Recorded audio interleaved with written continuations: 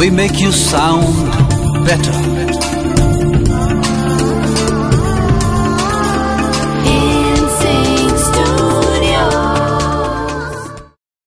Hi, my name is Nandu Bhende, the rock singer and voice trainer.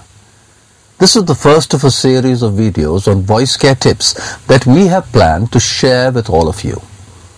These tips will help you both to protect your voice and to use it to your best advantage. Many years ago, when I was touring the Soviet Union for the Festival of India, I noticed that I was experiencing a lot of discomfort when I was singing, especially those high notes. On my return to India, I was fortunate to have attended an actor's voice workshop conducted by the National Center of Performing Arts.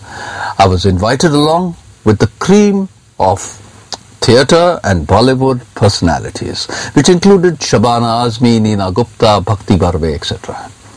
Now this workshop was meant for dialogue delivery, but it used music techniques to further the learning. It was here that I first learned about the importance of breathing in voice production. Now my problem was that I had actually forgotten how to breathe between the lines when I sing. Now when you breathe in, your stomach should push out. And when you breathe out, your stomach should push in. You can place your hand on the stomach when you're practicing. See if you're bringing air all the way down into your diaphragm. Breathe deeply and give your voice more support.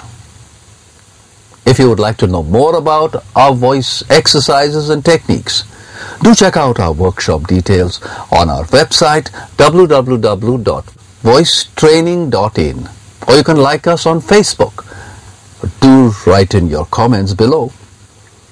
Until the next time, may the voice be with you.